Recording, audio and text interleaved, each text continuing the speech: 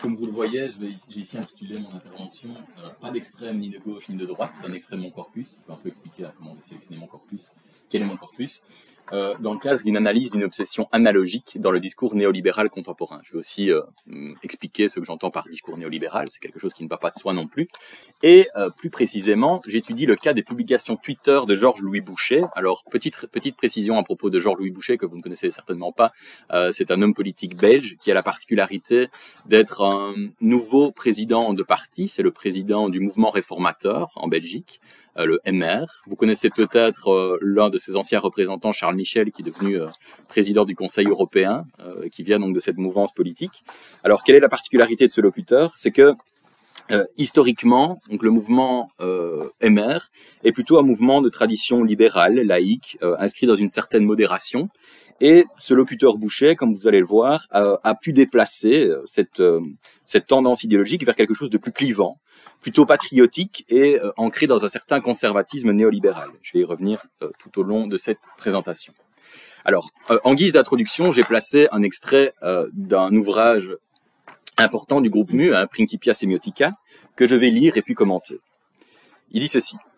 Établir que les sémiotiques reflètent le processus par lequel nous acquérons une connaissance élémentaire par la voie des sens permet de dépasser les réticences exprimées par Baveniste, et avec lui par une part importante de la linguistique du dernier demi-siècle, au sujet de l'accord entre l'esprit et le monde. Déjà une première mention de, l'idée d'analogie, hein, au sujet de l'accord entre l'esprit et le monde. Mais quel type de relation peut bien s'établir entre l'expérience et les sémiotiques? Si Campbell admettait tout au plus un parallélisme approximatif entre the structure of extralinguistic world and the structure of language, savamment baptisé du nom de diplonomie, d'autres avant lui n'avaient pas hésité à parler d'une analogie absolue entre le rapport du sujet au prédicat et le rapport des choses aux qualités sensibles. Bien évidemment, des expressions comme analogie, absolue ou des approximations comme celles que contient parallélisme ne peuvent susciter que la suspicion. Je vais revenir constamment sur cette idée d'une analogie entre le langage et euh, le découpage du monde. Cette citation donc des Principia Semiotica du groupe MU, euh, que je place en exergue et qui euh, ancre déjà le propos de ma communication dans un cadre théorique et institutionnel bien précis à la croisée de la rhétorique, de la linguistique et de la sémiologie, sert avant toute chose d'ouverture au questionnement relatif aux modes de pensée analogiques. Et c'est ce qui m'intéressera aujourd'hui, les modes de pensée analogiques. Le contenu de, de cette référence euh, au groupe MU peut sembler a priori éloigné de l'objet qui nous intéresse aujourd'hui, à savoir les analogies opérées en discours par un locuteur particulier entre le satagme, les satagmes extrême gauche et extrême droite, euh, ainsi qu'un euh, intérêt porté aux variantes formulaires de ces satagmes. Pourtant, Bien que le groupe MU se réfère majoritairement au rapport entre la sémiotisation et l'expérience sensible d'éléments naturels, il apparaît que plusieurs constats théoriques peuvent être transposés au, cas singulier d'une analogie portant sur deux syntagmes renvoyant à une notion culturelle et à une notion, en l'occurrence, idéologique, à des notions idéologiques. On peut en effet soutenir que le découpage, la classification et les homologies qui sont opérées par le traitement sémiotique des stimulus du monde, hein, les différents éléments du monde, touchent également les notions politiques en quoi le fait que l'on euh, reçoive des stimulus à partir du monde, eh bien, le découpage que l'on va opérer à partir de ces stimulus touche également des notions culturelles comme les notions politiques. Par exemple, la segmentation du monde en seuils, en groupes distincts, rompt, euh, rompt un continuum par la perception que produit un sujet d'une réalité donnée. Sujet qui va établir quoi? Des homologies, des analogies entre des éléments qui lui semblent ressemblants. Eh bien, cette distinction s'applique très singulièrement dans le cas de la catégorisation politique en entités distinctes comme les entités gauche-droite, extrême-gauche, extrême-droite, ou encore extrémiste-démocrate. Je vais y revenir. Le groupe MU montre bien que l'idée de continuum perceptif est à l'heure, il n'y aurait pas un réel continuum perceptif, et qu'il est déjà une construction du monde, ce qui n'empêche pas que le découpage en seuil distinctif, en groupe, soit également euh, euh, un, découpage euh, sous l'ordre de la construction. Alors, je, mentionnerai aussi le fait que mes recherches ont comme poids de départ les travaux de Philippe Monneret hein, sur le principe d'analogie linguistique, plus, plus précisément euh, l'essai de linguistique analogique qui opère une première distinction importante, et je vais y revenir plusieurs fois, entre analogie binaire et analogie proportionnelle, distinction sur laquelle je vais revenir. J'aimerais actualiser cette euh, distinction, analogie binaire, analogie proportionnelle, en interrogeant les enjeux rhétoriques et argumentatifs. Et donc, ma communication va analyser les formes linguistiques des analogies qui sont réalisées par un discours néolibéral contemporain entre les syntagmes extrême gauche et extrême droite. Alors, à propos d'une analyse politique et historique de cette analogie, je vais citer un article euh, assez intéressant du monde diplomatique, euh, intitulé Les extrêmes se rejoignent, qui mentionne une chose que l'on retrouvera dans notre corpus. Je le cite. Le rapprochement entre l'Allemagne nazie et la Russie soviétique va connaître une longue prospérité avec la condamnation des totalitarismes, une notion fourre-tout qui permet de mettre dans le même sac communisme, fascisme et nazisme, afin de défendre en creux le seul modèle économique et politique raisonnable, la démocratie libérale et l'économie de marché. Alors plus précisément, pour bien comprendre mon corpus, j'ai sélectionné un corpus exhaustif des publications Twitter de Georges-Louis Boucher, désormais B, hein, je l'appellerai B comme ça, c'est une logique d'économie, et pour ne pas faire de son nom non plus une formule. Euh, donc j'ai sélectionné un, corpus exhaustif des publications Twitter de, ce locuteur B depuis son élection à la présidence du mouvement réformateur en, novembre 2019 jusqu'à aujourd'hui. Sur la base du constat d'une réelle obsession discursive, on pourrait parler d'une obsession analogique, hein, une moyenne de trois publications par mois sur le sujet en 2022, avec un pic de 14 publications en avril. Il est donc question d'interroger le soubassement sociodiscursif de cette analogie, ainsi que ses variations formelles sous forme de différentes significations. La méthodologie que j'ai utilisée pour récolter ces unités n'a pas sollicité l'analyse lexicométrique, à savoir une analyse euh, quantitative, pour des raisons évidentes. Je vais m'expliquer. En effet, si les syntagmes en question peuvent bien être récoltés méthodiquement, hein, en faisant une recherche extrême gauche, extrême droite, il existe toute une série d'unités beaucoup plus implicites et allusives qui entrent dans mon objet d'étude. C'est la raison pour laquelle j'ai privilégié une récolte qualitative dans le cadre d'une analyse rhétorique du discours du locuteur B, dont la pensée et les formules du discours nécessitent une observation méthodique de chaque terme et de leur implicite communicationnel. Petite précision à propos de, euh, toujours un peu théorique, ne vous en faites pas, j'arrive vraiment au corpus, j'ai juste une petite, euh, un ensemble de prémices euh, plus théoriques qui, qui m'amènent au corpus. Donc à propos de la dimension pragmatique d'une analogie. Ça veut dire le fait que l'analogie va s'ancrer en discours. Rappelons la distinction essentielle réalisée par le groupe MU entre ce qu'ils appellent l'anasémiose et la catasémiose. Je vais expliquer. Ici, c'est un schéma qui est tiré notamment des Principia Semiotica.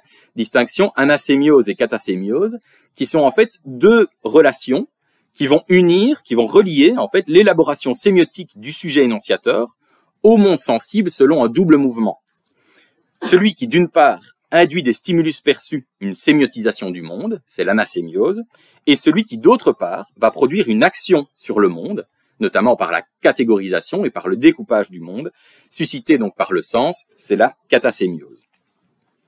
Cette dialectique entre anasémiose et catasémiose montre en quoi la production du sens à propos du monde et son découpage relève d'une intervention subjective qui délimite et formalise les catégories et les homologies.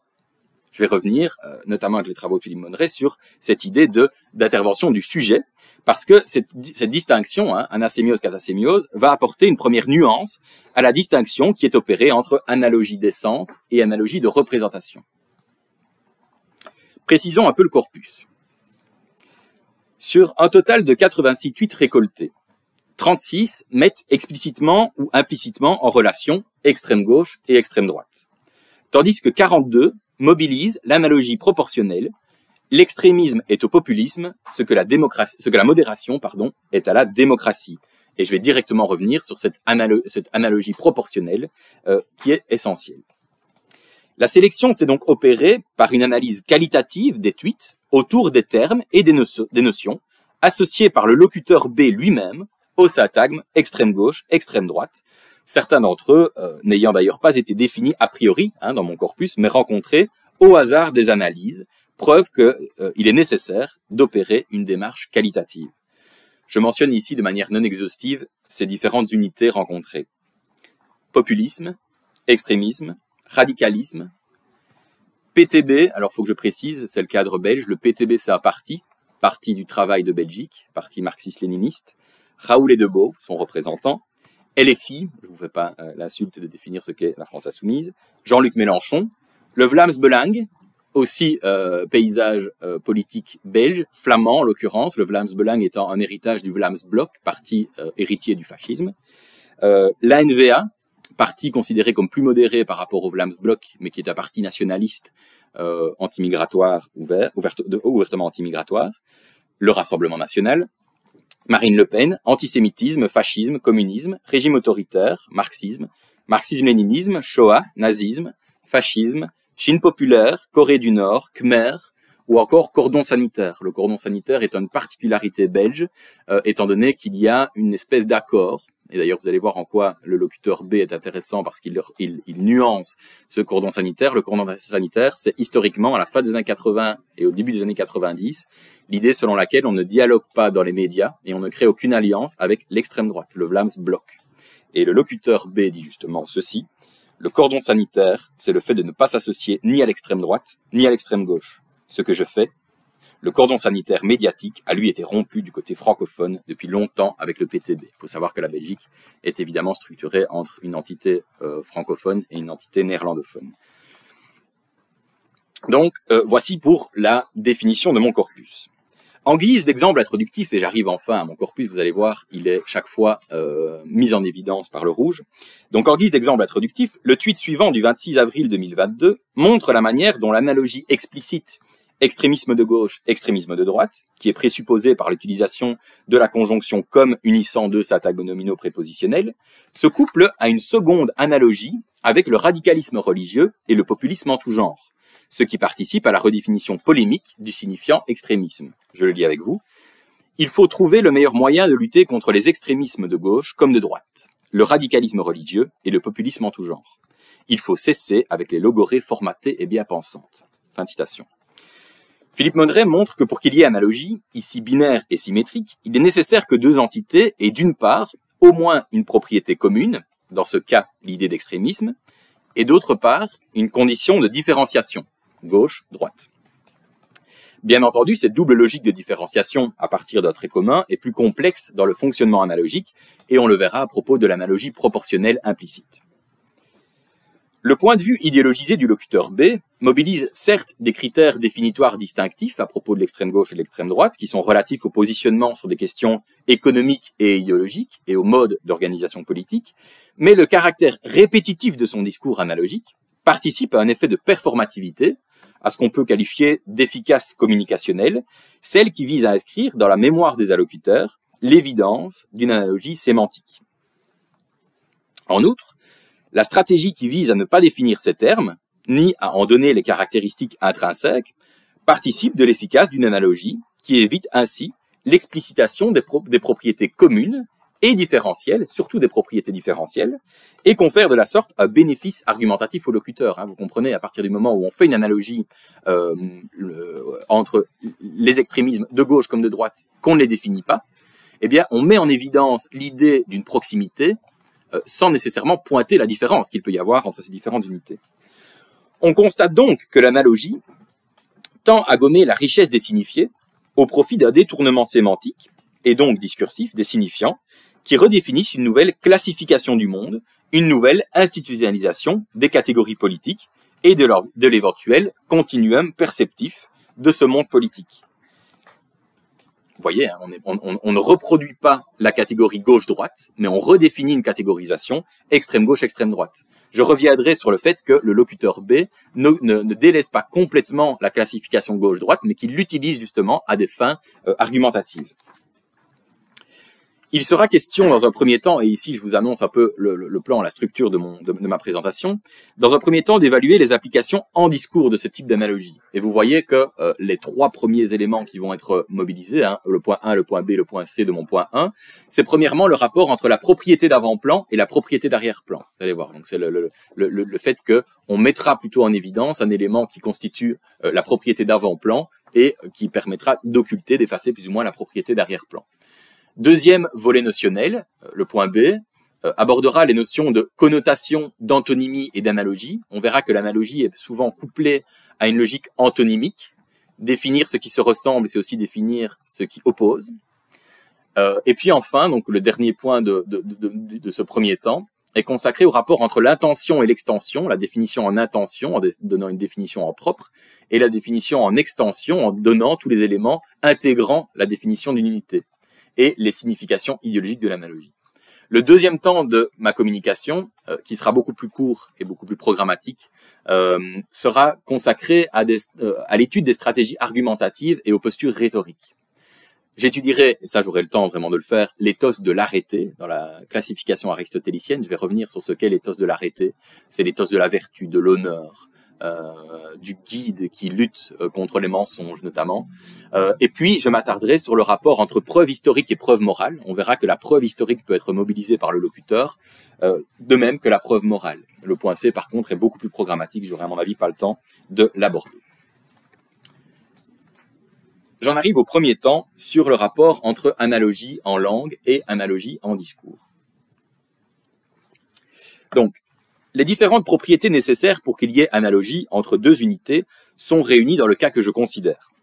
Les unités ne sont pas identiques, hein, l'extrême gauche n'est pas égale à l'extrême droite, tout en détenant, selon le point de vue subjectif du locuteur, un trait commun, présenté comme supérieur aux critères de différenciation.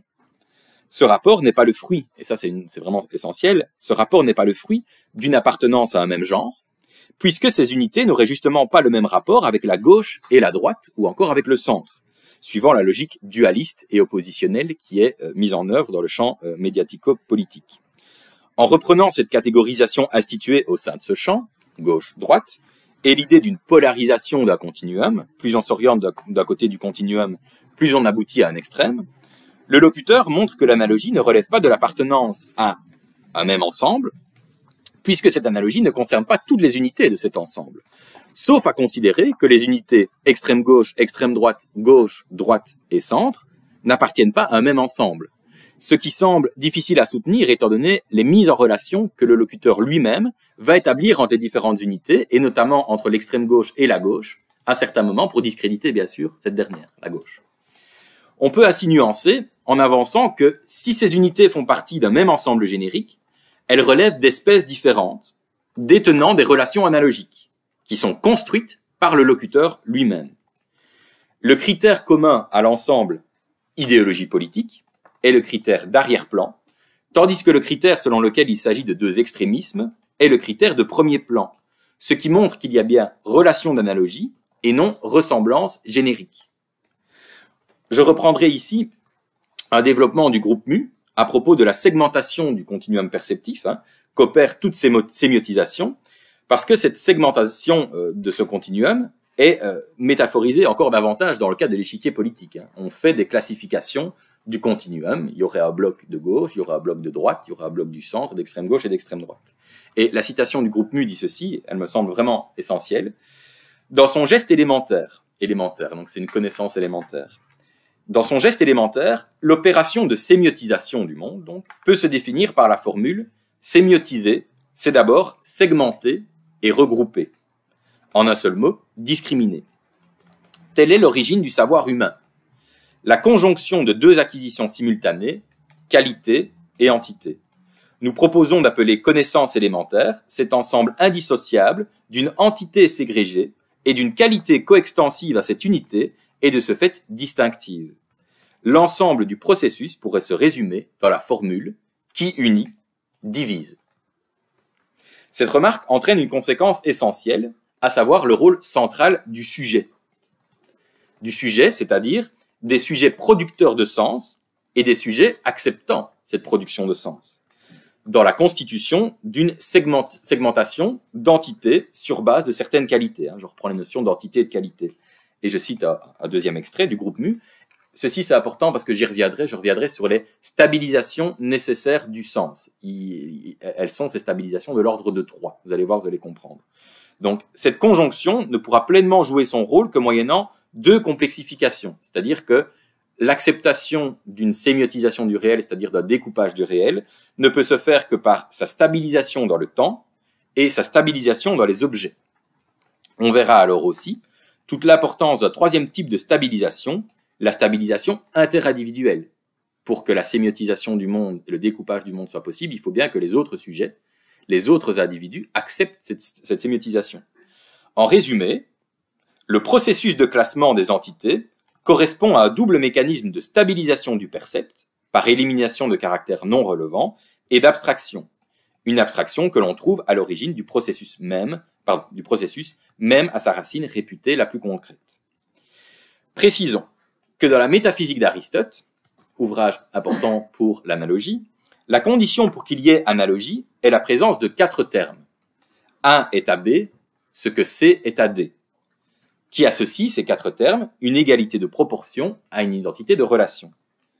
En ce sens, nous pourrions dire que l'analogie binaire extrême gauche, extrême droite se fonde sur une analogie proportionnelle implicite, à savoir l'extrémisme est au populisme ce que la modération est à la démocratie, ce qui constitue l'analogie d'espèce au sein de l'ensemble. Nous verrons que cette analogie structure bien le fonctionnement argumentatif analogique du locuteur B, qui établit donc des réseaux analogiques tantôt explicites, tantôt implicites, délimitant de nouvelles catégorisations politiques. Je cite euh, encore deux, au moins deux euh, passages un peu plus théoriques. Ici, un, passage de euh, Christian Plantin qui évoque le rapport de l'analogie à la connaissance. Il dit ceci. La connaissance analogique est un mode de pensée spécifique, donc vous voyez, c'est un mode de, pensée spécifique, qui s'oppose à la connaissance par les causes, auxquelles sont substituées de mystérieuses correspondances véhiculant des influences. Elle court-circuite la réflexion sur la hiérarchie des catégories en genre et en espèces, vous voyez le référent aristotélicien ici, à laquelle elle substitue une ligne ou un réseau de ressemblance. C'est le réseau de ressemblance dans le cadre de l'analogie. Ce commentaire insiste sur la spécificité d'une pensée qui ne se plie pas à un mode de connaissance causal, inductif ou déductif, mais qui sollicite plutôt un réseau de ressemblance entre unités, une forme d'identité partielle. Et dans la continuité de ce commentaire de Plantin, euh, les Principia Semiotica du groupe Mu rejouent cette idée d'analogie par, euh, par, représentation euh, selon Aristote. Je cite, L'homologation est une relation entre au moins deux paires d'éléments opposés en vertu de laquelle on peut dire que dans l'opposition AB, 1 est toujours ou majoritairement AB, ce que dans l'opposition CD, C est toujours ou majoritairement AD. L'homologation entre A et C a donc comme condition préalable l'opposition entre A et B ou C et D. Ainsi, toute structure comporte au minimum quatre éléments.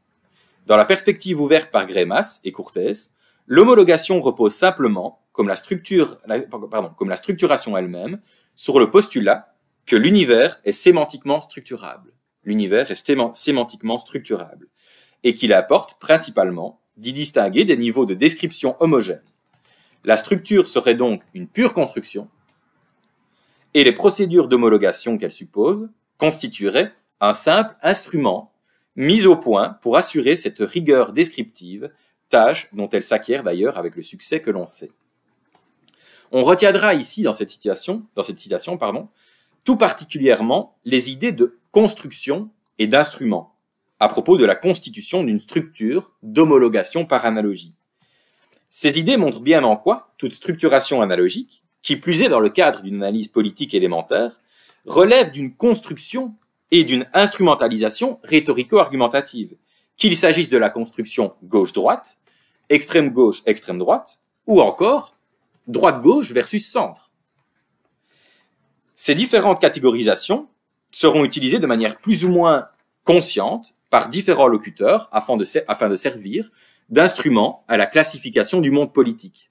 Et on verra d'ailleurs, je l'ai déjà annoncé, hein, que le locuteur B ne délaisse absolument pas la distinction gauche-droite lorsqu'il se trouve lui-même dans une situation ambiguë qui le rapproche précisément de l'extrême droite. C'est le cas du seul post Facebook que je vais étudier dans cette présentation à propos de sa proximité avec Theo Franken, que vous ne connaissez certainement pas, mais qui est un euh, représentant de la NVA, New, New Vlaams Alliance, donc euh, un parti flamand. Euh, Theo Franken ayant été secrétaire d'État à l'Asie et à l'immigration de 2014 à 2018 et s'y étant distingué par une politique extrêmement dure de retour forcé des migrants. Donc, on, verra que euh, lorsqu'il se met en scène aux côtés de ce locuteur, le, euh, ce locuteur tiers, le locuteur B lui-même va se mettre en scène selon la logique gauche-droite. Euh, avançons à propos de la propriété d'avant-plan et de la propriété d'arrière-plan. Je vais passer cet élément théorique pour ne pas être trop, long. Euh,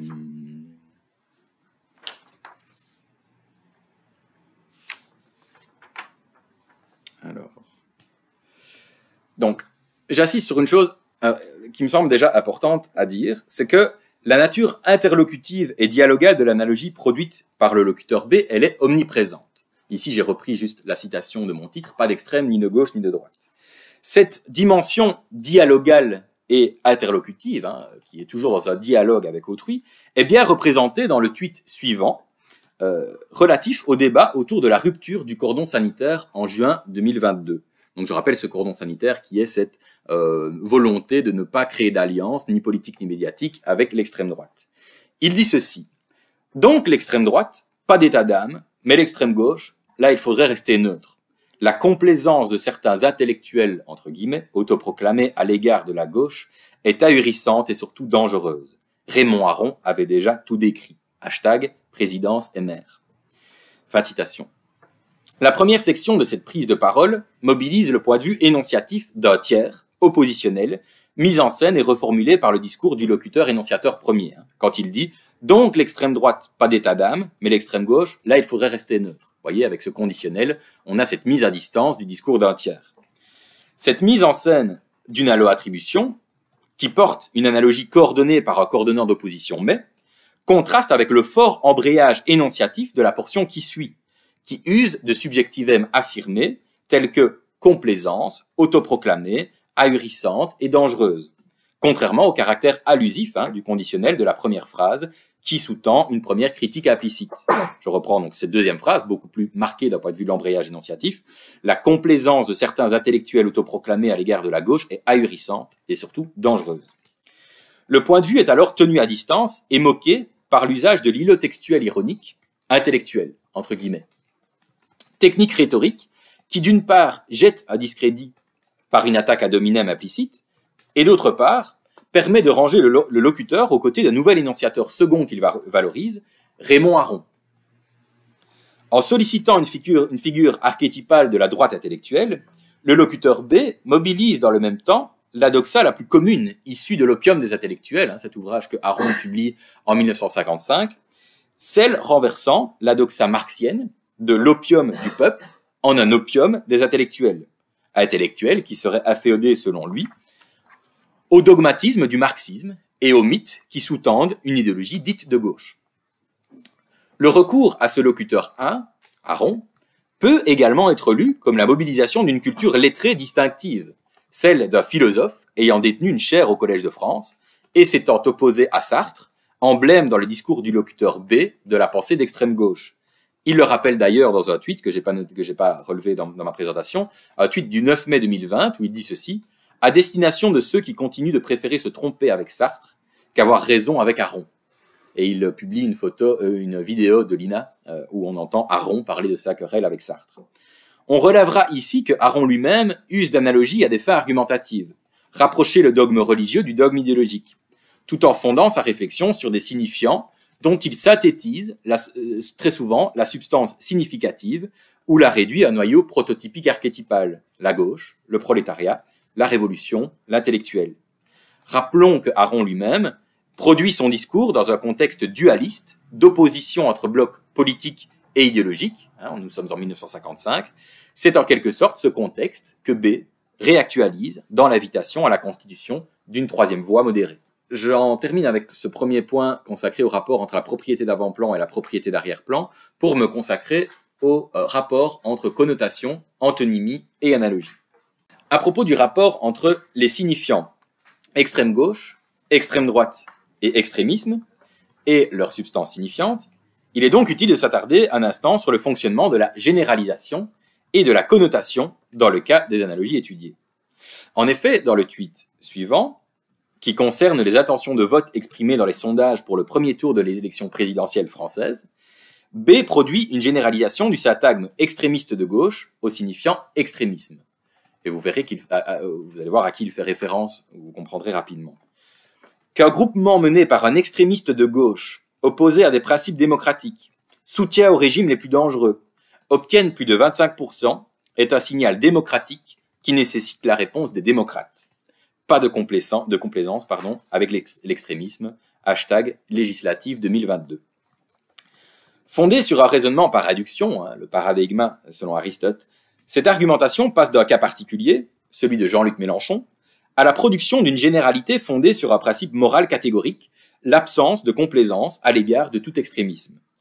Cette adduction crée un rapport de généricité, selon une logique hyponyme-hyperonyme, entre un extrémisme particulier, du moins un extrémiste particulier, et un groupement plus large, l'extrémisme. Ces termes extrémiste et extrémisme ne sont absolument pas neutres d'un point de vue sociodiscursif, et ils connotent un rapport aux formes de radicalité religieuse que l'Europe a pu connaître durant les décennies 2000-2010. Les termes sont d'ailleurs souvent associés à ceux de radicalité, de radicaliser, de fondamentalisme, voire de terrorisme. On a vu que B, hein, dans le premier tweet que j'ai mentionné, réalisait lui-même cette analogie dans cette tweet, et je renvoie également à un argumentaire intéressant et significatif du colloque Extrémisme religieux, violence et contexte éducatif qui a été organisé par l'Institut catholique de Paris en 2019. On peut cependant pas nier, et là il faut faire une concession, on peut cependant pas nier l'ancrage que ce terme peut avoir dans la qualification de radicalité politique d'une certaine gauche marxiste ou anarchiste historique associée au principe de l'action violente. Quoi qu'il en soit, la dualisation oppositionnelle est opérée par le locuteur par la mise en regard des démocrates et des extrémistes, ce qui tend à constituer ces derniers comme des autres par rapport à la communauté dans laquelle s'insère ce même locuteur, celle des démocrates. Donc le, locuteur B ferait partie des démocrates opposés aux, aux extrémistes. La définition implicite du démocrate s'opère donc de façon antonymique en discours à celle d'extrémiste et je renverrai à ce propos euh, euh, au numéro 123 de la revue Mo, dirigée par Valérie Bonnet, Béatrice Fatiola et Lilian Mathieu, pardon, sous le titre De la racine à l'extrémisme, discours des radicalités politiques et sociales, paru en 2020, qui dit ceci Là où se trouvent des défenseurs d'une forme particulière de radicalité, se rencontrent des attaquants, chacun se renvoyant régulièrement la balle d'un discours qui tend toujours, pour les autres, vers une certaine forme de radicalité, plus ou moins déclarée ou extrême. Nous avons ainsi également pu vérifier la manière dont la mise en place d'une radicalité politique advient dans un système de confrontation, d'opposition suffisamment forte pour, se réclamer d'une forme d'extrémisme ou d'intégrité non négociable qui peut passer ou non par l'action. Cette remarque relative à la constitution d'une altérité, en l'occurrence politique, est essentielle en ce qu'elle met en évidence une stratégie discursive qui, dans le même temps, protège le locuteur de l'attaque qu'il crée. Je reviendrai sur le fait que cette attaque envers les extrémistes protège le locuteur de cette attaque qu'il crée. En outre, je rappellerai que Marie Stephens, dans deux publications de 2016 et 2019, donne comme caractéristique définitoire de l'antonymie la mise en opposition binaire d'unités lexicales, certes potentiellement graduelles, sur base d'une convention plus ou moins canonique et sur fond de traits communs, ce qui rapproche la notion de celle d'analogie. Les unités extrémistes et démocrates correspondent au cas d'une construction antonymique en discours, sur le plan rhétorique, et non en langue, sur le plan, strictement linguistique. Les antonymes de démocrate donnés par le CNRTL sont aristocrate, autocrate, autoritaire, despote, fasciste et monarchiste. Le trait sémantique sur lequel s'opposent ces, unités dans le discours, donc les unités extrémistes démocrates, dans le discours du locuteur B, n'est donc plus celui du mode d'organisation politique, mais celui de la modération contre l'excès, tandis que le trait commun est celui du positionnement idéologique. Le fonctionnement antonymique se construit sur base de la répétition d'un discours, comme le montre cette série de publications que je vais citer avec vous, qui participent à l'ancrage euh, discursif de cette idée d'antonymie entre démocrates et extrémistes. Je les lis avec vous. Je suis militant de la démocratie libérale, et aujourd'hui, elle est menacée par l'extrême droite, par l'extrême gauche, par le communautarisme, par le populisme. L'ensemble de ces combats sont nos combats. Deuxième citation, dingue. Comment la gauche républicaine peut-il, il y a une erreur du locuteur, soutenir l'extrême gauche et faire comme si de rien n'était? L'honneur des démocrates est de rejeter tous les extrémistes. Qu'un groupement mené par un extrémiste de gauche, opposé à des principes démocratiques, là vous reconnaissez, c'est le cas de Mélenchon, que j'ai déjà évoqué. Jamais le MR officiel, le mouvement réformateur, ne négociera avec un parti extrémiste comme le PTB, Parti du travail de Belgique, l'extrême droite et l'extrême gauche ne seront jamais des partenaires potentiels pour le parti qui a la démocratie libérale dans son ADN. Dans le premier tweet, l'opposition se réalise sur le plan de la menace à combattre. Dans le deuxième, il s'agit d'un rejet moral. Dans le troisième, le terme opposition met en regard un groupement et les principes démocratiques. Enfin, le quatrième se fonde sur l'impossibilité d'une négociation entre partis extrémistes et partis de démocratie libérale. Cette impossibilité résultant non moins d'une différence d'ADN. C'est très sémantique, menace, rejet, opposition et ADN, participe donc à la construction discursive d'une relation antonymique tout en ancrant l'analogie entre les différents types d'extrémisme. Et on voit que cette analogie, là c'est intéressant d'un point de vue syntaxique, que cette analogie se réalise donc sur le plan syntaxique par la juxtaposition, par l'extrême droite, par l'extrême gauche, par le communautarisme, par le populisme, ou bien par la coordination, l'extrême droite et l'extrême gauche, tandis que l'antonymie relève davantage de la relation prédicative attributive ou de la, présupposition au sein du sujet. Je relis hein, justement les relations prédicatives attributives des antonymies. Elle est, cette euh, démocratie libérale, elle est menacée par l'extrême droite, par l'extrême gauche, par le communautarisme, par le populisme. L'honneur des démocrates est de rejeter tous les extrémistes. L'extrême droite et l'extrême gauche ne seront jamais des partenaires potentiels pour le parti qui a la démocratie libérale dans son ADN. Ceci m'amène au troisième point de ma première partie sur le rapport intention-extension et sur la substance idéologique du propos. Alors, revenons un temps sur la remarque que j'ai formulée précédemment à propos du fait que, euh, que l'antonymie construite entre extrémistes et démocrates protège le locuteur de l'attaque qu'il crée. Hein, je l'ai annoncé. Idéologiquement et humainement proche de mouvances nationalistes, adeptes des politiques antimigratoires et familières des milieux néofascistes, comme la NVA, il est révélateur de noter que B place dans l'angle mort discursif du tweet consacré à M, donc à, Mélenchon, pardon, je reviens sur celui-ci, consacré à Mélenchon, le score réalisé dans les sondages par le Rassemblement national de Marine Le Pen. Or, historiquement, c'est davantage la percée de ce parti qui, depuis 2002, retient l'attention des analystes politiques associés à l'image de démocrate, collectivité qu'intègre le locuteur par la dualisation qu'il crée.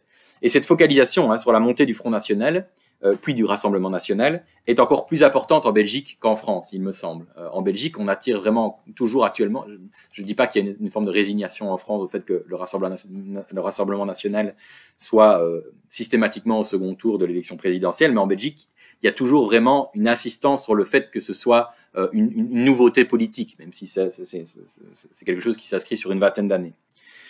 À propos des accointances idéologiques de B, je mentionnerai un post Facebook, hein, le seul que, que j'utiliserai, il est, il est très long, je ne vais pas tout lire, ne vous en faites pas. Donc je mentionnerai un post Facebook de juillet 2018 à propos du dialogue entretenu avec Franken, hein, ce député euh, et qui a été ministre de 2014 à 2018 à, à, à, l'asile et à l'immigration, euh, où en fait ici, qu'est-ce qui se passe? Le locuteur B va s'y mettre en scène selon un nouveau clivage, comme un partenaire de l'interlocuteur Franken, opposé à la, je reprends ces termes, à la gauche bien pensante, en invoquant une forme de légalisme justifiant le dialogue avec toute personne élue ou ayant une charge politique.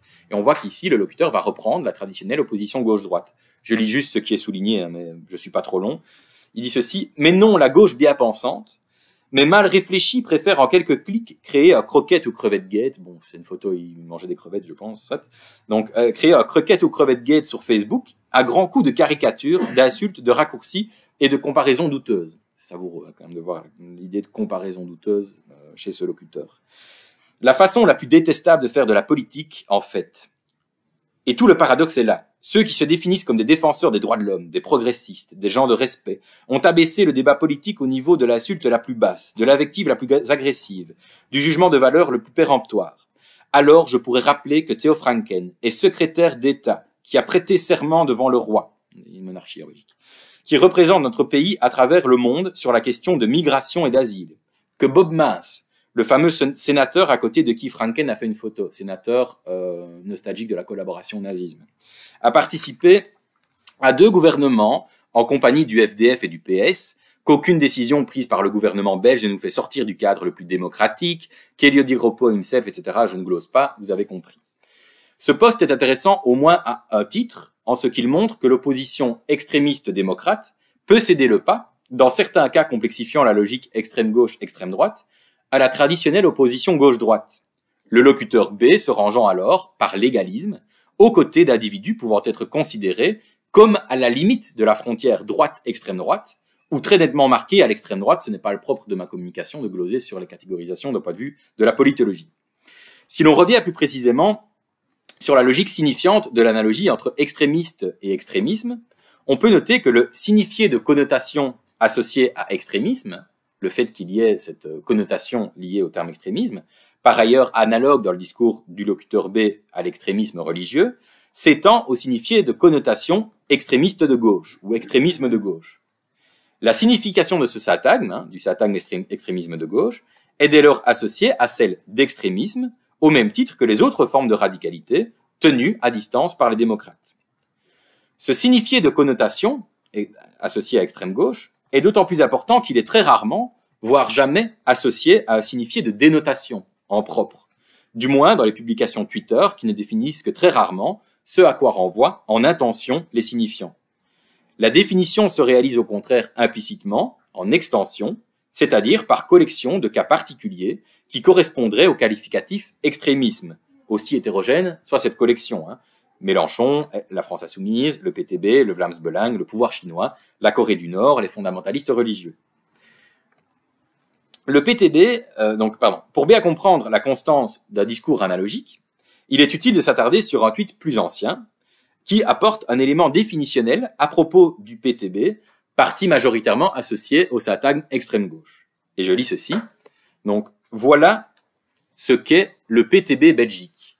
Complaisance avec, alors petite précision peut-être euh, d'un point de vue de l'échiquier politique belge, il faut savoir que le PTB en Belgique, qui est un parti marxiste-léniniste, euh, obtient un nombre de voix assez conséquent. Euh, alors dans les sondages, il est estimé entre 15 et 20% à côté d'un parti socialiste en Belgique, de tradition toujours plus ou moins ouvrière, qui est quant à lui est plus ou moins 20 à 25 Le paysage politique wallon est assez singulier, étant donné qu'il n'y a absolument euh, aucun parti d'extrême droite et étiqueté extrême droite dans le panorama francophone de Belgique, ce qui n'est pas le cas en Flandre, vous avez compris, hein, Vlaams Belang et NVA étant associés à ces entités.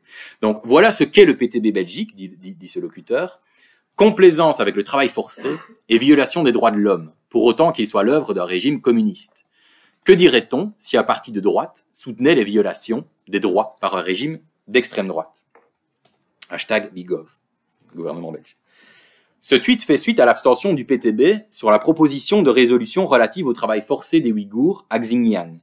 La stratégie redéfinitionnelle est ici évidente. Elle fonctionne grâce au présentatif Voilà ce qu'est, qui relève de l'évidence et associe l'extrême gauche, qui n'est pas nommée mais représentée par l'un de ses particularismes, à deux SEM, travail forcé et violation des droits de l'homme. Singularité de ce tweet, il réfère au qualificatif de régime communiste.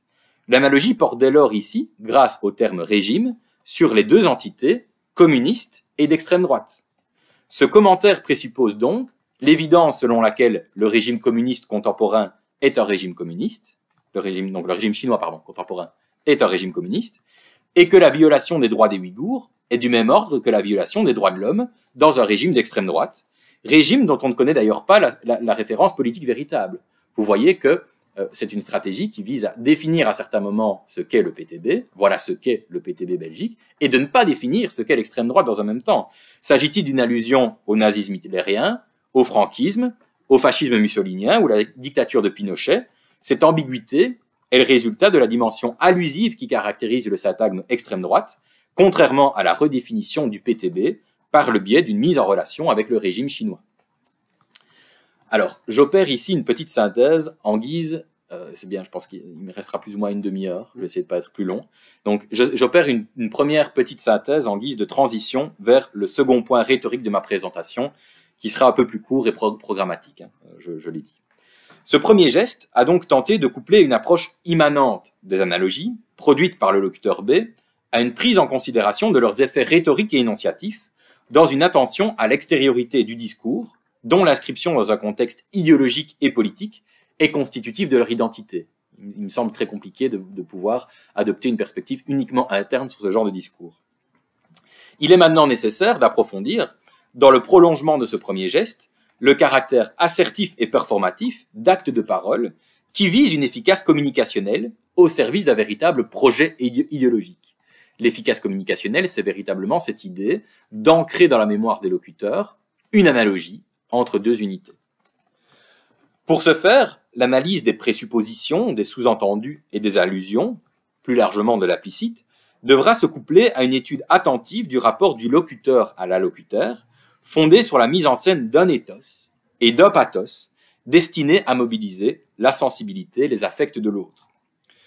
Je me suis aussi attardé dans le cadre de cette première partie sur quelques stratégies d'allo-attribution, hein, avec des, locuteurs et des énonciateurs aussi différents que Théo Franken, Jean-Luc Mélenchon et Raymond Aron, qui visent à créer une forme de parole dialoguée par rapport à laquelle l'allocuteur lui-même va devoir se positionner. Se met-il du côté de, des, énonciateurs et des locuteurs mentionnés? Les stratégies du locuteur énonciateur premier B, qui recourent à des locuteurs énonciateurs second, visent également une efficace communicationnelle en ce que l'allocuteur fonctionne lui-même comme une instance énonciative, décodant et recevant, souvent inconsciemment, ces stratégies. C'est donc à partir de ces remarques euh, synthétiques que je vais débuter cette deuxième partie sur les stratégies argumentatives et les, postures rhétoriques. Le premier point est donc consacré à l'éthos d'arrêter. Et pour ce faire, je pars d'un euh, nouveau tweet. Revenons donc à l'unité paradigmatique extrême, qui se couple dans l'extrait suivant, sur le plan syntagmatique, aux unités de gauche et de droite, tout en utilisant le pluriel. Je cite, C'est la différence avec la gauche francophone d'ailleurs, nous ne parlons qu'au Parti démocratique. C'est l'honneur des libéraux de ne pas pactiser, tous les termes sont importants, c'est l'honneur des libéraux de ne pas pactiser avec les extrêmes de droite ou de gauche. En rejouant de nouveau l'opposition entre démocrates et extrémistes, le locuteur B redéfinit l'opposition gauche-droite, non sur le plan socio-économique ou politique, mais au travers d'une exclusive du dialogue interparti. En se posant comme définisseur et délibérateur de ce qu'est un parti démocratique, à savoir un groupement modéré, il se constitue dans le même temps comme l'autorité gérant la dialectique politique. La posture de président de parti, il n'est que président de parti, hein, il est par ailleurs élu, euh, mais, mais, pas au niveau fédéral ni au niveau régional, il est président de parti, la posture de président de parti se mue alors en un garant de bonne démocratie et de bon libéralisme, par l'autolégitimation du locuteur comme exemple même de cette expression politique et idéologique, hein, expression de, euh, de ce fonctionnement démocratique et de ce fonctionnement libéral. On renverra à ce propos à la surutilisation de l'hashtag fier d'être libéral, euh, c'est quelque chose qui revient tout le temps, fier d'être libéral, qui sollicite le pathos de la fierté par une surexposition idéologique, ce qui contraste avec le désinvestissement relatif, notamment du qualificatif socialiste, par la gauche francophone, et on verra plus tard euh, en quoi ce pathos de la fierté idéologique est retourné contre le communisme euh, dans une mise en regard de celui-ci avec les camps du goulag. J'y reviens. L'analogie se réalise de nouveau dans... Euh, est-ce que c'est cet extrait-ci? Oui, c'est cet extrait-ci. Donc l'analogie se réalise de nouveau sous la forme d'une coordination. On a pu observer le cas de l'exclusion coordonnante par le nini. Dans le satang, je vous rappelle, pas d'extrême, ni de gauche, ni de droite. On a observé aussi l'opposition par le mais dans donc l'extrême droite, pas d'état d'âme, mais l'extrême gauche. Là, il faudrait rester neutre. La mise en on a pu observer aussi la mise en relation par le coordonnant inclusif et dans l'extrême droite et l'extrême gauche ne seront jamais des partenaires potentiels. C'est d'ailleurs l'usage le plus fréquent, attesté quatre fois dans mon corpus, hein, l'usage du et, d'ailleurs le plus souvent sous la forme extrême droite puis extrême gauche sauf dans le titre, vous voyez, pas d'extrême, ni de droite ni de gauche, mais là c'est pas la coordination avec le et, c'est avec le ni. Voici donc une utilisation dans ce tweet du coordonnant exclusif ou qui unit une nouvelle fois les deux syntagmes nominaux prépositionnels de droite et de gauche. Donc je lis, c'est la différence entre, euh, je l'ai déjà lu, je lis, c'est la différence avec la gauche francophone d'ailleurs, c'est l'honneur des libéraux de ne pas pactiser avec les extrêmes droites, de droite ou de gauche. Cet usage d'un ou exclusif insinue que les extrêmes se réduisent à ces deux alternatives, de gauche ou de droite. En effet, tandis que le et pourrait sous-entendre l'existence d'autres formes d'extrémisme aux côtés de l'extrême gauche et de l'extrême droite, Le ou restreint cet ensemble à une nouvelle binarité, ce qui enferme l'allocuteur dans un univers de représentation mentale. Dans la foulée de ce commentaire, j'aimerais étudier la manière dont ce binarisme, le binarisme qui est créé par l'analogie, sous forme de coordination, participe en retour à distinguer ce locuteur du binarisme et à construire l'image discursive bien particulière, à savoir un ethos d'arrêté. Pour ce faire, et je vais définir un ethos d'arrêté, pour ce faire, partons de trois, de trois tweets qui théâtralisent la posture d'un combattant vertueux, esselé dans son combat et luttant contre les ennemis intérieurs. Dans le premier tweet, cette théâtralisation se fait par le champ lexical du combat des libéraux, hein, le combat, la lutte, dans une argumentation toujours construite par le euh, paradigme inductif dont le locuteur tire une généralité morale. Je cite La situation politique belge illustre aussi à quel point notre combat, celui des libéraux, doit être prioritairement la lutte, contre, contre les populismes. Et voyez, il y a le fameux hashtag fier d'être libéral. C'est un contexte particulier, celui de la politique belge, d'ailleurs non défini, mais qui est certainement lié à une allusion euh, à la montée dans les élections, aux élections de 2019 du Vlaams Belang et du PTB, hein, donc du Vlaams Belang en Flandre et du PTB en Wallonie. Euh, donc c'est un contexte particulier, celui de la politique belge, qui illustre la nécessité d'un combat moral, la lutte contre les populismes. Et j'attire encore votre attention sur le pluriel englobant de l'hyperonyme populisme. Dans un deuxième tweet, c'est une expression métaphorique, le miroir aux, alouettes, doublée d'une métaphore théâtrale, du moins propre au spectacle, qui amène à percevoir la figure du tribun qui n'est pas dupe et qui va faire tomber les masques du mensonge et de la duperie au bénéfice des citoyens qui assistent à un duel. On est toujours dans la logique du combat qui est quasi chevaleresque ici. Hein. Je cite Rendez-vous ce mardi à 20h sur les News 24 pour un duel face à cette extrême gauche qui dénonce mais ne propose rien. Le miroir aux alouettes doit prendre fin et les masques doivent tomber. Hashtag présidence MR, fier d'être libéral. Enfin, un troisième tweet scénarise la posture du locuteur parlant seul face au silence de ses adversaires, sous-entendant par une question rhétorique l'instrumentalisation de la lutte contre les extrêmes. Et ici, bon, je passe le replying, etc., qui dit J'attends avec impatience votre déclaration qui condamne le PTB pour son refus de signer la charte pour la démocratie et les conséquences que vous en tirez. Mais tiens, je n'entends que le silence. Ne me dites pas que la lutte contre les extrêmes est instrumentalisée. La formule antithétique et interlocutive Mais tiens, je n'entends que le silence définit le locuteur comme l'instance perceptrice opposée au silence de ses adversaires qui l'entend. Se taire sur une injustice, c'est parler encore, dirait Sartre. L'éthos majoritairement créé est donc celui de l'arrêté, selon la typologie aristotélicienne, c'est-à-dire un éthos de vertu, d'honneur et d'authenticité morale.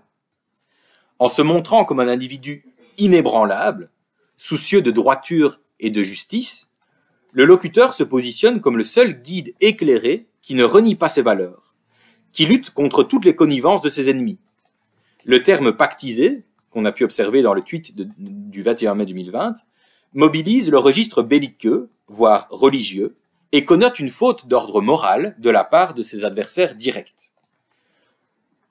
La logique dualiste, nous versus les extrémistes, se double donc d'un deuxième dualisme, nous versus la gauche francophone, qui se voit implicitement associé, par l'usage du pluriel englobant les extrêmes, à l'extrême droite, bien qu'aucun dialogue n'ait été construit par la gauche avec celle-ci. Hein. Aucun dialogue n'a été construit par la gauche avec l'extrême droite, du moins en Belgique francophone, contrairement au locuteur lui-même, qui a débattu sur la VRT, chaîne flamande, avec, Tom Van Grieken, représentant du Vlaams Belang, en avril 2022.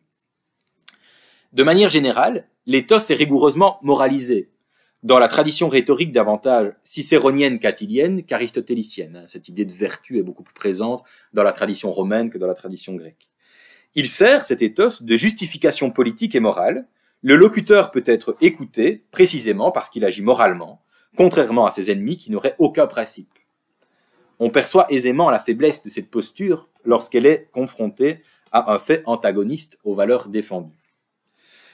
On retrouve alors dans ce cas le traditionnel découpage gauche-droite de la réalité politique comme stratégie d'évitement, c'était déjà le cas à propos du post Facebook relatif aux accoatances avec Franken, le locuteur se rangeant dans un rejet de la gauche en bloc, qui verserait alors métaphoriquement, hein, c'est le cas des deux euh, tweets ici, qui verserait alors métaphoriquement dans les bas-fonds du populisme.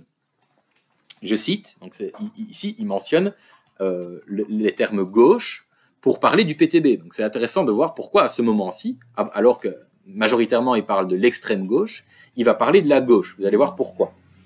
Donc je, le cite. Vous aviez un doute sur le fait que les méthodes de Michel Orion, je ne sais pas qui c'est, c'est pas important, étaient dignes de celles des populistes du PTB Belgique, qu'il critique, tant par ailleurs. La lente, la lente dérive d'une certaine gauche traditionnelle vers les bas-fonds du populisme. Hashtag niveau zéro, hashtag imposteur. Ou encore, quand la gauche n'a pas d'argument, elle invente. Le PTB en flagrant délit de mensonge. Pour le MR officiel, pas question de toucher à la neutralité de l'État. Ici, c'est un débat relatif à, euh, évidemment la présence du voile islamique euh, dans, les, administrations. Et le représentant du PTB va en fait faire une amalgame à propos de ce qu'aurait dit le locuteur B, euh, qui en fait disait qu'il était opposé au port du voile dans les administrations et non dans l'espace public. Je vais, y revenir après. En tout cas, la gauche est ici associée au mensonge qui porte sur l'amalgame, justement, fait par le représentant du PTB sur la position du locuteur B à propos de cette question du voile. Tandis que la droite reste attachée à la valeur neutralité. Il est singulier de noter que le qualificatif utilisé ici est celui de gauche et non d'extrême gauche. Ce choix relève, à mon sens, du fait que les attaques les plus répétitives à propos de la gauche traditionnelle, PS et écolo, concernent les questions communautaires, de communautarisme, ce qu'il appelle les questions de, communautarisme, et notamment sur l'abattage rituel, euh, le PS bruxellois, encore une particularité en Belgique, c'est que Bruxelles est encore singulière, euh, le PS bruxellois a été opposé notamment à l'abattage rituel, euh, qui était interprété par le locuteur B comme une forme de communautarisme. Donc on voit que euh, mentionner le PTB comme étant un parti de la gauche, c'est une manière d'attaquer encore la gauche sur le, sur le, le, le, plan du communautarisme. On voit donc que la classification analogique extrême gauche, extrême droite peut céder le pas à la, à la traditionnelle classification gauche-droite, sur des questions bien précises, dont le communautarisme, la neutralité, la laïcité ou le wokisme. Cet éthos de l'arrêté, qui fonde la figuration du tribun authentique, luttant contre les forces corruptrices et mensongères, celles des autres partis, est encore accentué dans le tweet suivant, que je cite. Comme les autres partis sont trop complaisants avec cette extrême gauche, il faut bien que quelqu'un s'y colle. Pour le reste, de quel cordon sanitaire parle-t-on? Tous les médias donnent la parole à l'extrême gauche, donc je dois les laisser parler seuls. Le nous se transforme ici en un jeu, ce qui signifie que le combat est mené par un individu, plus uniquement par un parti ou un ensemble de partis, les libéraux. La question rhétorique qui clôt cette publication théâtralise de nouveau la posture de l'individu isolé. L'erreur grammaticale du singulier seul peut d'ailleurs fonctionner, selon moi, comme un lapsus et être interprété comme une hypalage associant le jeu à cet adjectif. Le seul ne, ne, fonctionne en fait pas pour donc je dois les laisser parler seuls. Ce serait le seul. Je dois moi seul les laisser parler. Une forme de théâtralisation de ce locuteur esselé contre tout le monde. C'est la complaisance des autres parties, conçues comme globalité, mais aussi des médias, hein, tous les médias, qui amène le locuteur à assumer une fonction qu'il présente comme douloureuse. Il aimerait ne pas avoir à y répondre mais cette fonction relève d'une forme de mission tragique, de l'ordre de la nécessité, du destin. Il faut bien que quelqu'un s'y colle, seul et contre tous. Alors, j'aborde le point B de ma deuxième partie, qui sera vraiment le dernier à être traité en profondeur. Le rapport entre preuve historique et preuve morale, qui soutiennent d'ailleurs un état particulier. La stratégie idéologique à l'œuvre dans la constitution des trois dualismes relevés, extrême gauche, extrême droite, démocrate, extrémiste, droite authentique versus gauche pactisant avec l'extrême gauche, participe au renforcement du programme idéologique néolibéral, selon lequel il n'existe pas d'alternative politique au libéralisme politique et partant économique. Le seul rempart contre les adversaires des démocrates, euh, ces adversaires étant par ailleurs qualifiés de totalitarisme, d'ennemis de la démocratie, de populiste ou de populisme à plusieurs reprises. Donc le seul rempart contre les adversaires de démocrates serait, selon cette lecture, la troisième voie modérée du libéralisme. Le locuteur B l'exprime d'ailleurs très clairement dans un tweet du 4 juin 2020 à propos euh, d'un débat télévisé l'opposant sur LN24 à Raoul, Raoul Edebow, ce représentant du PTB, en sollicitant cette fois le syntagme danger pour la démocratie. Vous voyez, on a la petite croix. Le communisme et le marxisme sont des dangers pour la démocratie. Ils ont échoué. Le petit V. Le libéralisme est la seule philosophie politique qui a fonctionné. Hashtag duel complet. Et puis vous avez de nouveau après le hashtag présidence mère, hashtag fier d'être libéral, qui revient une nouvelle fois. En ne réalisant de nouveau aucune définition du communisme ni du marxisme, termes qu'il associe l'un à l'autre, le locuteur particularise le dualisme démocrate-extrémiste, du moins dans ce cas démocratie versus danger pour la démocratie, en conférant une teneur idéologique à ces termes, qui deviennent alors, dans la logique oppositionnelle produite, les démocrates libéraux versus les extrémistes communistes marxistes. Il est significatif de noter que le libéralisme est qualifié de philosophie politique et non d'idéologie, ce qui connote autre chose qu'une vision du monde partiale et partielle, donc antagoniste, c'est-à-dire une forme d'ouverture au débat conceptuel, ce que l'on pourrait nuancer au regard de l'hashtag duel complet. En outre, cette philosophie politique est évaluée à l'aune de son efficacité pragmatique, en tant qu'elle s'oppose, par son fonctionnement, à l'échec des philosophies adverses. Sa valeur intrinsèque serait d'avoir fonctionné, hein, le libéralisme aurait fonctionné, euh, contrairement aux autres qui ont échoué, ce qui constitue un élément présupposé euh, et, euh, et, présupposition dont les prémices sont très peu questionnées dans le débat politique. En effet, est-ce que la valeur d'une idéologie ou d'une philosophie politique se mesure à son degré de réalisation pragmatique, à son adéquation avec un état des choses? Ici, c'est une présupposition, c'est considéré comme acquis le fait que ce qui donne de la valeur à une idéologie ou à une philosophie politique, c'est son degré de réalisation pragmatique.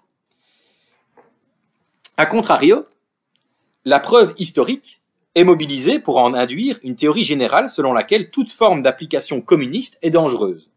En témoigne le tweet suivant, citant une publication euh, à propos du film documentaire co-réalisé par Nicolas Wert et Patrick Rothman sur les camps du goulag soviétique, qui reprend, comme on l'a déjà évoqué, le pathos de la fierté que ne pourrait, selon B, endosser ses adversaires communistes. Je cite, Le communisme dont certains n'osent plus s'en revendiquer, euh, dont certains n'osent plus se revendiquer ouvertement aujourd'hui, mais qui en invoquent systématiquement les principes.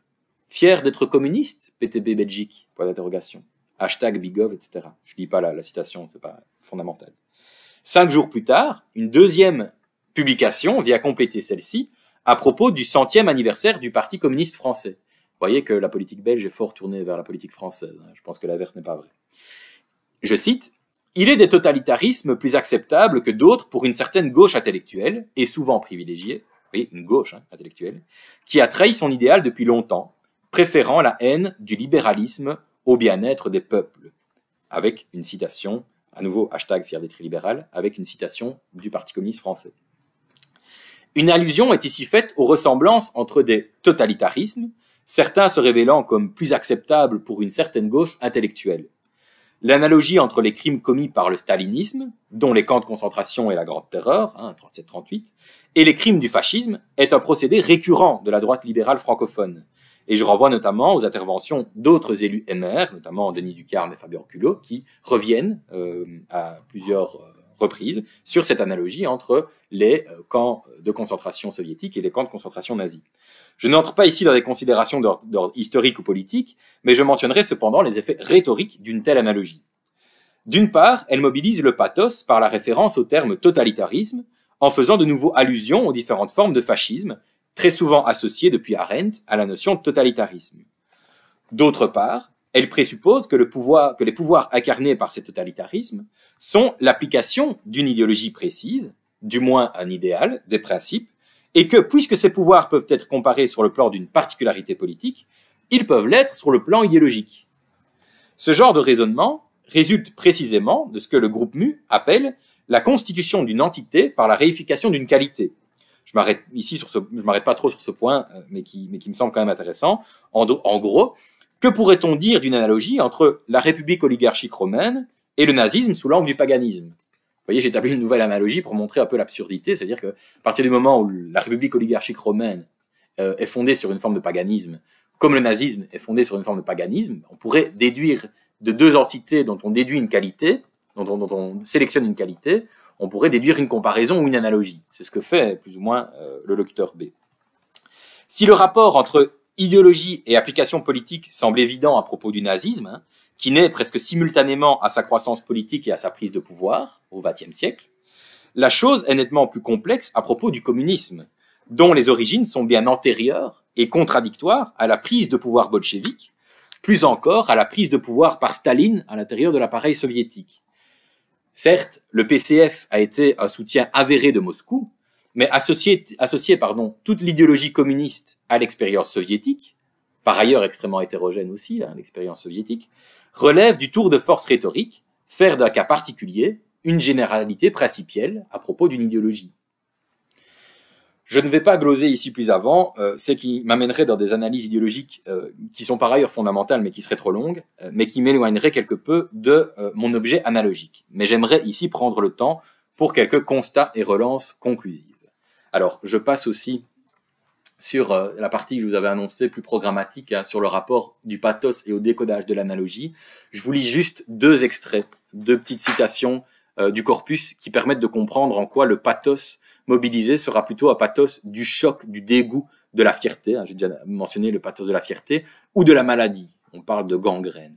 Je lis juste le premier et le dernier parce que j'ai déjà lu celui du milieu. Choqué, dit-il, lorsque le vice-président d'un grand parti comme le PS officiel, hein, le Parti socialiste, met en avant, choqué, met en avant le porte-parole du Parti communiste qui ne prend aucune responsabilité au détriment de formations dé démocratiques. L'apaisement se fait dans le respect des démocrates. Vous voyez l'opposition choc-apaisement. Et la dernière, certains, à droite comme à gauche, sont sur des pentes dangereuses. Les démocrates ne doivent plus laisser passer de telles attitudes. La gangrène populiste est présente chez nous aussi, et la complaisance à son égard n'est pas acceptable. Hashtag USA, il parle de, l'élection de Trump, je pense, ici. Donc, euh, ah non, c'est en lien avec le 7 janvier 2021, c'est en lien avec euh, le Capitole. Et donc, j'aimerais prendre le temps, comme je vous l'avais dit, de quelques relances et euh, à propos notamment de l'idée de redondance syntaxique et discursive comme constitution du sens et comme constitution du sens de l'analogie. J'en reviens momentanément au groupe mu, qui observe que la constitution du sens se réalise dans la sollicitation à la fois d'une signification paradigmatique de chacune des unités et d'une information syntagmatique unissant ces mêmes unités c'est en, un sens le principe de linéarité selon Saussure, c'est-à-dire que pour qu'il y ait production de sens, il faut mettre en relation différents, euh, différents signes qui se succèdent et qui vont créer une signification, une information. C'est dès lors dans les relations syntaxiques entre les différentes unités que se réalise la production du sens et de la formation, syntaxe au sein de laquelle la redondance est fondamentale. Je vais revenir sur l'idée de redondance. Cette notion de redondance, va ici nous être utile pour comprendre la manière dont le sens analogique est produit en discours et comment ce sens est admis par une communauté d'allocuteurs. On a observé la dimension extrêmement répétitive d'une parole analogique, qui est rendue possible par le médium Twitter, mais qui ne se réduit pas à ce seul médium. On peut en effet attester l'obsession analogique du locuteur B dans d'autres usages que ceux propres au réseau social américain ce qui renforce encore le principe de linéarité et de redondance. Je rappelle les trois processus de stabilisation du sens qui rendent possible l'ancrage dans la mémoire des sujets d'une relation analogique. Hein, je les ai évoqués avec la citation du groupe MU. C'est la stabilisation dans le temps, la stabilisation dans les objets et la stabilisation interindividuelle ou intersubjective. Et je vais revenir sur ces trois stabilisations qui permettent en fait de créer une stabilisation sémantique analogique on a pu observer en quoi l'analogie binaire extrême gauche, extrême droite, et l'analogie proportionnelle, l'extrémisme est au populisme, ce que la modération est à la démocratie, tendaient à se stabiliser dans le temps, dans le discours du locuteur B. On pourra d'ailleurs relever, à ce propos, que l'évolution diachronique, qui entraîne une surutilisation en 2022 par rapport à l'année 2020, euh, est une observation euh, importante, ce qui, ce qui s'explique par plusieurs événements politiques dont la crise du Covid, ou de la Covid, la rupture du cordon sanitaire, ou encore l'un ou l'autre dialogue entre différents membres de parti. On constate qu'aux alentours de mars, avril, mai 2020, on a moins de rapports, moins de mise en analogie, de rapports analogiques entre extrême gauche et extrême droite. Il y a une espèce de, moment, de, moment de parenthèse comme ça, euh, étant donné que la parole politique est accaparée par cette crise sanitaire. On remarque aussi que lorsqu'un interlocuteur politique parle avec euh, un autre interlocuteur, ça peut amener euh, la reprise de l'analogie. Cette dernière remarque nous amène à traiter de la dimension interindividuelle et intersubjective de l'analogie considérée. En effet, en acceptant, voire en reprenant l'analogie de B, les autres parties entérinent l'univers de représentation et la réification sémantique produite. J'aurais pu mobiliser l'utilisation de cette analogie par les interlocuteurs politiques de B. Ce travail reste à mon sens à faire et ne doit pas délaisser l'analyse lexicométrique.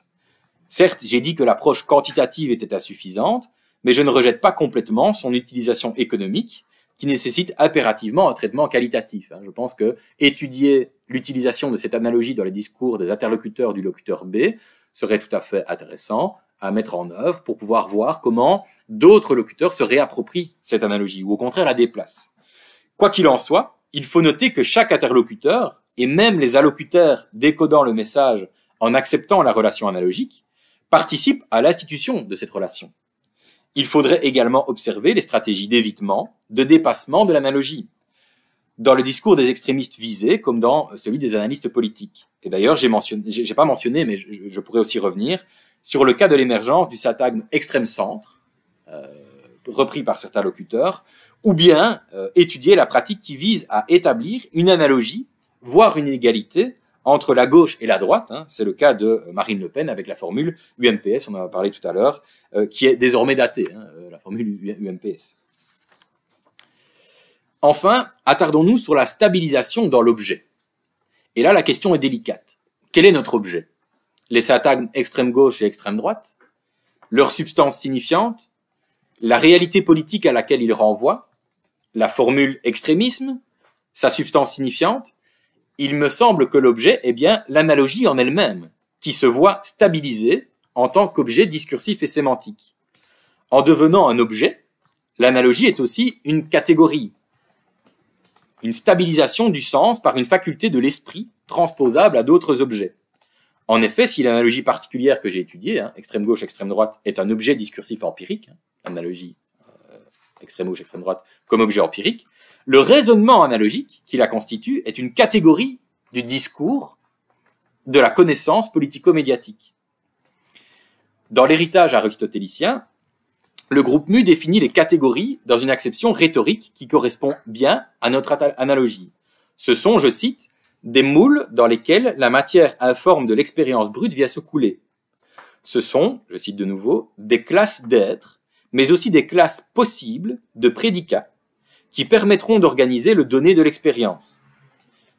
Pour la sémiotique et la rhétorique, ces catégories sont de pure construction de l'esprit humain qui ne préexistent pas, mais sont constituées a posteriori à propos d'objets, d'objets empiriques. Et je cite de nouveau, elles n'ont donc aucun caractère a priori, mais constituent un a posteriori. Fin citation. Il faut toutefois noter ici et j'en termine là-dessus, il faut toutefois noter ici que la catégorisation opérée ne relève pas d'une pensée qui souhaite classer un monde extrêmement hétérogène et d'une infinie variété, comme le propose le groupe mu.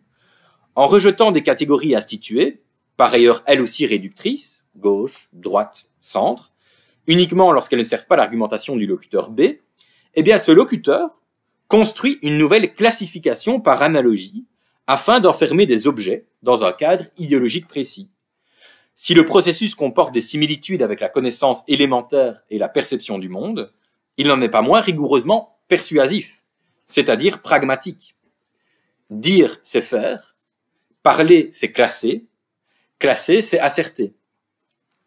Bien qu'il ne soit pas question de gloser sur les supposées intentions conscientes de ce locuteur, hein, ce qui, dans l'héritage de Michel Pêcheux et de l'analyse du discours, n'enlèverait rien à la teneur idéologique de son propos, on peut toutefois préciser que la répétition d'un discours et l'enfermement dans une pensée analogique relèvent d'une efficace persuasive. Cette pensée analogique englobe d'ailleurs d'autres objets que ceux que l'on a étudiés.